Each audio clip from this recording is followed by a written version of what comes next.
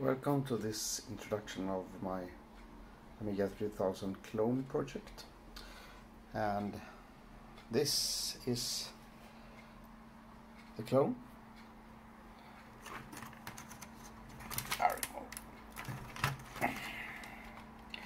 And it's pretty much one to one copy of a revision 9.4 9.3 3000 with the only adding is that the int 2 line to the CPU port is done.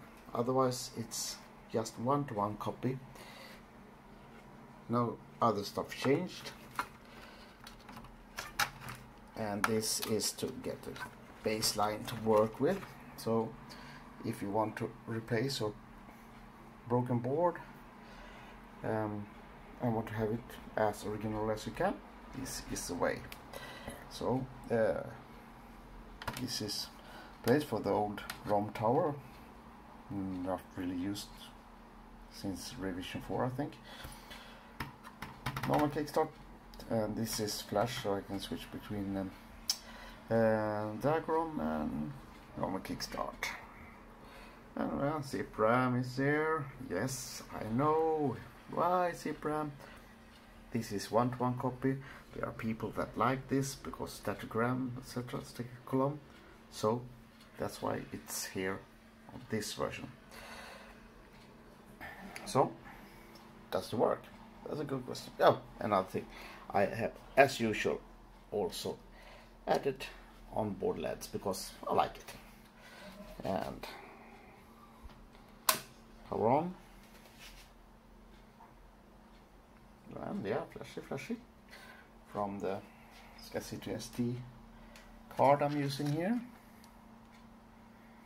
That takes power from the television power so no power needed. Quite handy. And to my dual monitor setup here this is both are taken from the Flicker Fixer and it's just using a video doubler you know because this is how I do it when I do repairs. So usually I have my PC here and this is my media monitor because as it's a Dell monitor you see it's off screen. So you can touch it here and will be fixed but no I don't bother now. Anyway um, you can switch this one and so both FlixiFix modes works. And yeah uh, which Amiga? I don't have any battery installed as you can see. Uh, so it will be showing 1978 date there but yeah. Um, I got it populated with 8 megs RAM because that's basically what I had at home at ZIP them. Use sysinfo, even if it's crap, it tells us the speed at 0.9 Amiga 3000 as usual on Amiga some some reason. Data burst was off, doing it again, I think it will not do any more. Maybe it will be 1.0 with uh, static column RAM, but I don't have it. This is normal for 3000, so this is not slower than a original 3000 due to this. And uh, we can uh, do some music. Does it work? Oh yes it does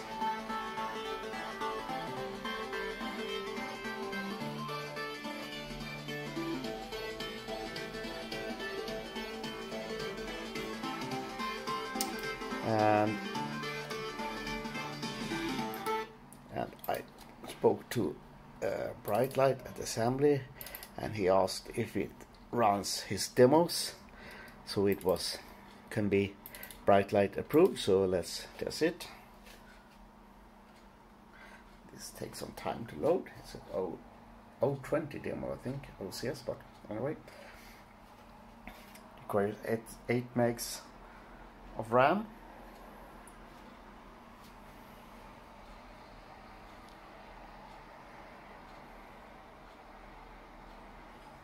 Loading, still loading.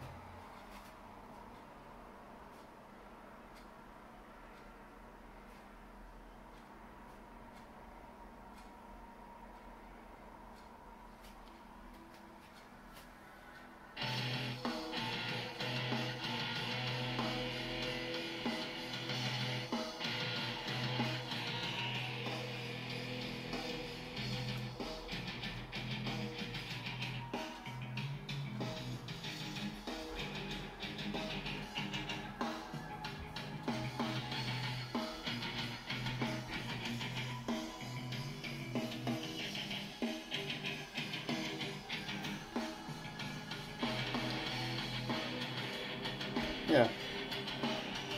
Grind, the demo, works fine.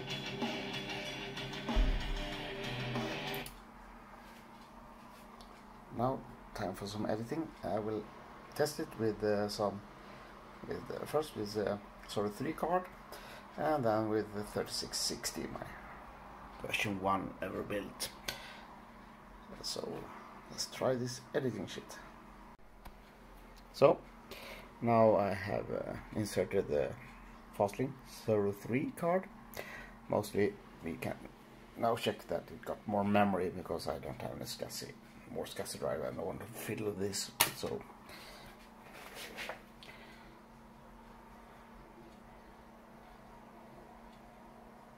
I wait for SCSI. Some slower boot.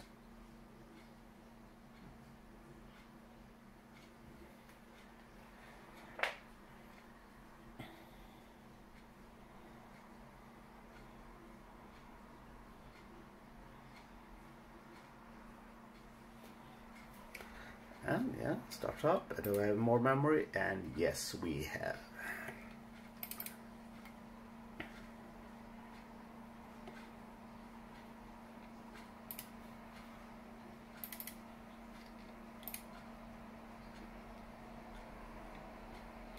So, Zorro 3 works as well.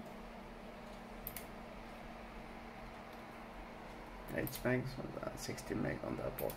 So, that one works as well. Now I'll remove the, so the Fastlane and put in 3660. Well, I could put it on, still have it on, but well, nah. And, well, just if that works as well. So now I removed the Fastlane and put in my test rig, my 3660, the first ever built with a ZIF socket. So this is no 060 adapter, it's just a ZIF socket so I can test CPU simple and fair when I buy 060s. And does it work?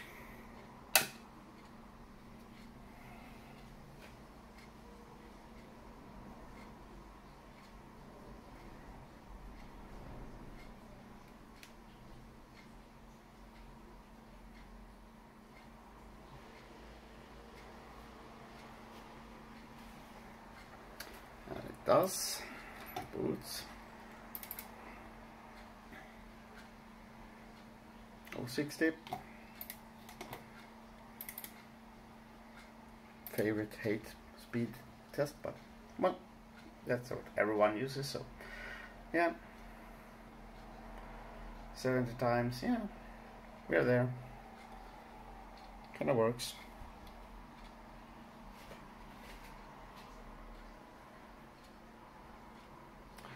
And yeah.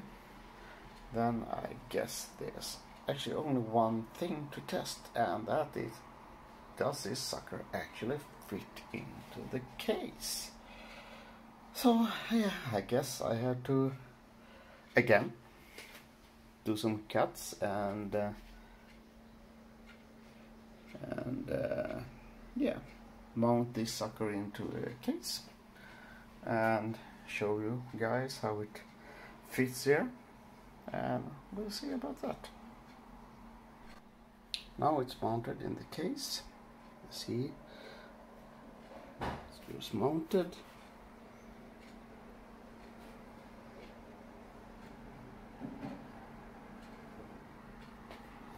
And we have keyboard and mouse here. And on the back side